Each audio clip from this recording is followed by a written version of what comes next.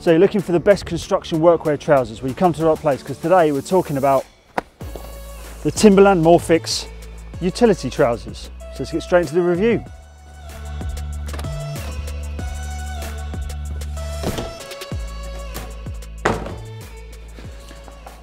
This video is a review of the Timberland Pro Morphix Utility Work Trousers. We'll start this video off by giving an overview of the trousers, like a few features that are uh, put into these trousers, and then we're going to go on to my personal opinions, some pros, some cons, and then we'll move on to a conclusion or an overall review of the trousers and uh, yeah, give my final opinion. I'd like to preface this video by saying Timberland Pro did send me these trousers. Um, however, they have not asked me to give any biased opinions. All the opinions in this video are my own opinions. I have not been paid by Timberland Pro. I've only just been sent these for review. Um, so hopefully this will give you an unbiased opinion, an unbiased video of what I personally think of the Timberland Pro trousers. Okay, so we'll start off by saying I have been wearing these a hell of a lot in the past three months. I've been putting them through their paces. I have been doing various different jobs wearing these trousers to try and get an idea of who these would be perfectly suited for. Um, so what we'll do is we'll just start off by going through some of the features and go from there. I'm going to be referring to my phone a few times because I've got all the notes written down here. So these trousers are made from 90% polyester and 10% Timberland ProFlex technology, which is a four-way stretch material that they've designed to give an added bit of stretch to it. There are two zip-off holster pockets with multifunctional usage and reflective trim. So if there is any light shining on your site and you uh, need to be seen, high vis, that kind of thing, this picks up for that perfectly. There are internal knee pad pockets to accommodate Timberland Pro anti-fatigue inserts. So you got your, your knee pads basically. A stretchy, comfortable waistband, which I can completely account to. That is very comfortable. There are multiple functional pockets, high visibility piping, as I spoke about earlier, on some of the edges of the pockets. There's a ruler pocket and adjustable hammer loop double stitched for durability. It's also Cordura fabric reinforced hem guards. So that was a quick overview of some of the features of these trousers, but let's go into a little bit more detail. These are the detachable side pockets, side pockets, side flaps as you'd call it. There are one on each side of the trousers and they are attached by both poppers and also a zip. Now you can have these on and off as and how you see fit. I didn't use these terribly often because I found that they got in the way, but I'm a bricklayer. For those of you who are new to the channel, I'm a bricklayer and a bricklayer by trade. I do a few other different jobs as well, but I would say these side pockets are probably much more suited for a plumber, an electrician, a painter and decorator or something like that. I find get, they, they got in the way a bit too much because I sometimes wear a utility belt which has got my hammer loop and a few other bits and pieces on it. So I find that these just got in the way. So I, the first time I wore them, I wore them for one day and I thought, no, that, that's not my cup of tea. So I just took them off. But that's the good thing about it is you can take them off. You can have one on one side, you can have both on, or you can have none on at all. So that is a nice touch. So what we'll do is we'll leave them to the side. I'll, well, actually, no, I'll show you exactly what these are up close. So you have one large main pocket um, I could also see these being extremely useful for roofers because you put your nails in there and whatever. I could have actually have done with these about six months ago. You have a small loop so that you can hang sort of perhaps a, a knife off there and obviously you have three additional pockets which I would probably presume would fit in nicely. You've got your pencil, I'd say a pencil, maybe a, a, spanner or, or a set of pliers or screwdriver or something like that. Or paintbrushes. That's what I'm saying. It's probably good for plumbers, electricians, painters. And again, that large pouch is probably good for, for roofers. So it's starting off by saying these are a very versatile pair of trousers that are multi-trade that most trades can use. And once you have taken off those pockets, you can pop down these little poppers that would keep the little zipper away. Now, as we're talking about the zippers, I'll go and say that these are very heavy duty zippers. You have the two side pocket, the two front pockets that are, yeah, the two front slash side pockets have got these zips on it. Um, if we flip these around, as we're talking about the pockets, on the back pockets, they are Velcro, that you don't have those zippers on the back. Now, I was in two minds about these back pockets, purely because I often wear jeans. A lot of the time I wear jeans or um, like chino style trousers um, for reasons I'll go into in a little bit later on. Well, you know, I, I, because I like hang, I like hanging my, my tape measure off my pocket and I just like, I don't like having side pockets on my knees because walking around scaffolding, I find that you, you catch those kinds of trousers on the scaffolding and you end up ripping them, which is why I generally I wear skinny jeans or like I say, a lot slimmer styled trousers. However, I will come back to the back pockets, bear with me, I'm on a bit of a tangent here. These, I don't find them too baggy, which is, I thought they would be too baggy. I thought, be like, no, these, these aren't for me because they're, they're too baggy. If I walk around scaffolding, etc., etc., I'd catch them and snag them. I didn't snag them once. Um, I did walk around scaffolding a little bit before it got taken down on this house build. Link below if you want to see this house build. Um, the playlist down below. But yeah, I didn't find them too big. I found them just just the right. They're probably at the top end of bagginess. So I wouldn't. These are probably the baggiest trousers that I would wear. But yeah, they, they gave enough room and enough movement, which is perfect. Okay, so back to these back pockets I was talking about. So we've got the the Velcro on them. I didn't particularly like them because I I don't I don't like covered up pockets. I don't like pockets where you have to open them, like whether it be with a zipper or or with a or with Velcro. I just don't like it because if you're getting something like, I, I often have my pocket knife in my back, my back pocket, and it's just in there, nice and easy to go in, go out, get it, job done. But with these, I find that I couldn't put them in the back pocket as comfortably because you got that flap on the top. And also with the side, as I was saying earlier, I like to have my tape measure hooked on my pockets. With these trousers, I can't do that because obviously the zip and it is at a completely different angle. It is vertical down the trousers, whereas with my jeans, it's sort of horizontal. Those are the two things that I wasn't too keen about with the, with the trousers, with the pockets, sorry. Also in cold weather, if you're not wearing gloves, everyone knows, especially you brickies out there or anyone who works outside in the cold weather, your hands get really cold and I find that if you put your hands in these pockets to get out your tape measure, your fags, whatever it is you got in there, just the, the ruggedness of these zips, I find it just catches on your hand and it just doesn't feel that nice. I found I didn't use the side pockets pretty much, or the back pockets at, at all really. I very I think I only put my wallet in the back pocket and that was it. That's one good thing about these having the flap over them with the with the elastic. Um, sorry, not elastic, with the Velcro because you can put your, your wallet in the back pocket, cover it over, and no one can half inch it out your pocket, pinch it if you're uh, not into Cockney rhyming slang. Okay, so moving a little bit further down the trousers, we have got one pocket on one side. Now this pocket consists of, again, more Velcro.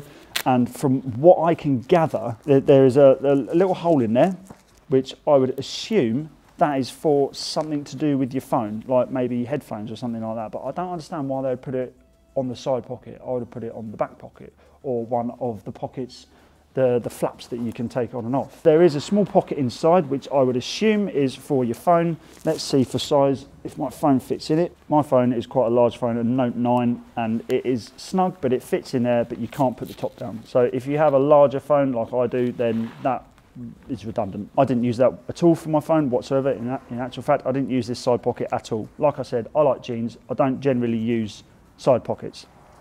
But it is there if that is your cup of tea. So yeah, there's that little hole in there, which I'm assuming is for headphones, but like I said, I'm not 100% sure. There's also this side pocket here, which is designed for a ruler. So you can have your, um, your scale rule in there, which fits in perfectly. I have tested this out. Um, and it, yeah, it fits in nicely. Your mobility isn't impaired by having this in there. So that is that, it's really good. The one thing that I used it mostly for was for my boat level. Your boat level fits in there absolutely perfectly. That is something that I, I did use quite a lot. I used, I was wearing these trousers predominantly when I was building a garden wall. That video is coming, so if you would like to see a tutorial on how to build a garden wall, then make sure you are subscribed and turn on that notification bell so you do not miss it when I upload that video.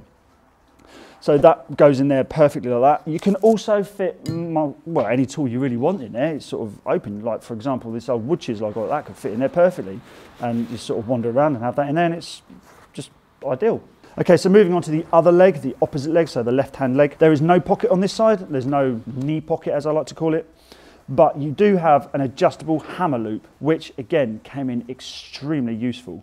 The good thing about it is, is you can adjust it. So if you just have your regular size hammer, you can fit it in, open that popper, and it's double sized. So whether you have a larger handled hammer, that would fit in there, or perhaps you wanted that hammer to hang a little bit lower on your leg so it doesn't bash the side of your leg. But saying that, I didn't find, I did use this. I do have a hammer loop which I'd attach to my belt, but I thought I'd leave that at home and I would try try it out with just using this, and it works. It works perfectly. It doesn't sit quite as high on your hip, which is not ideal, but if you are putting your hammer on your side constantly, you would have a you would have a hammer loop for your belt. Whereas in this case, this is sort of a, it's there if you need it. Like if you're up a ladder and you're like, oh, I ain't got my hammer loop on me, you just pop your hammer in there, climb up the ladder, do what you got to do, come back down, and it, it's ideal. I I think hammer loops are a very good idea on trousers. I really do like them because, like I said, it's there. You don't have to worry about putting a hammer loop on your belt. It's there all the time. Job done. Thank you very much. Okay, and so we'll move down to this the knee area where the knee pads are. Well, I say knee pads, like the knee pads come separately. Um, I could have washed these before I did this review, but I didn't, just to show you that I have been using them extensively to show the wear, or the lack thereof. There's no wear on these, but they are used. So yeah, you open them up, you could use them as a pocket, but I would I wouldn't advise it because it's obviously your knee. If you leave a nail in there, you go to you kneel down, that nail goes straight into your knee. You're going to be in a bit of bother. Perfectly sized, and the good thing that I think about this is to start with, I wasn't so keen on having these, but I thought I'd test it out because recently I've been doing some drainage and I've been kneeling down a lot. Even if you don't have the knee pads, like the additional inserts that go in there, even if you don't have those, because you've got this extra bit of cloth on the front. Rather than just the trousers you've got this extra the pocket like the outside you have that extra bit of stability anyway and also the top of the pocket depending on where your knee fits in these trousers you have additional comfort for your knees so an, an additional bit of padding there. So for for what I do I don't kneel down anywhere near as enough as say for a plumber or an electrician would. So these would be ideal again for a plumber or an electrician or anyone who kneels down really but even if you don't spend time kneeling down, and looking at pipes, looking at plugs, things like that, these are very handy because you've got that extra bit of protection, protection on the knee, which I found very useful for, like I said, kneeling down, doing a bit of drainage. As we move down, we go down to the bottom of the trousers. They have been double lined at the bottom. So if you're walking along, if you get these a little bit long, if you like them a little bit long, you scuff, if you scuff the back of the trousers, they're not going to wear away anywhere near as quick. Obviously, they wrap around your boot very nicely. And yeah, double double strength for the bottom. I'm, I'm not going to say no to a bit of double strength, so it's, it's looking ideal. Going back to the top of the trousers, we have double size belt loops. So if you do have the larger size belt, I generally have uh, a belt loop that's probably half the size of these. But if you can look here, you do have the largest style belt loop, but also you have two smaller style belt loops. So there's sort of three different sizes there that you can pick from. Obviously, a large Timberland logo on the back, which is very nice. I do like the orange, the orange colour and the black go very well together. I spoke earlier about how the, comfort waistband is and that, that is extremely comfortable. It's sort of like, I can't really show this on camera, but it's sort of almost, it's not double, double, double lined, but there is that extra little bit of padding in there that it's not really extra padding, but it just, it just feels really nice. So that is very welcomed.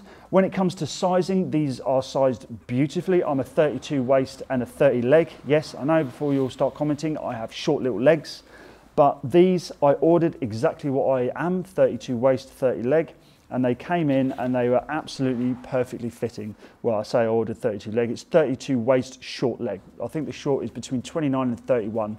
I'll have to double check that. If that, In fact, I'll probably put a sizing chart on the screen now so you can have a look. The sizing fit absolutely perfectly. The wear, the stretch, that, that 10% stretch flex that they have in there is perfect. I, I can't really show on camera how, how stretchy these are. There's that little bit of flex. They're not like skinny jeans, like the skinny jeans I'm wearing now. You can pull them around all over the place. They're really stretchy. But these, they have just the right amount of stretch in them. These also have what is called rain repel technology. So it's like uh, an, an outer layer I don't know if it's sprayed on or how it's applied, but there's an outer layer called rain repel technology. And I did manage to test this out while I was wearing them, while I was building that garden wall.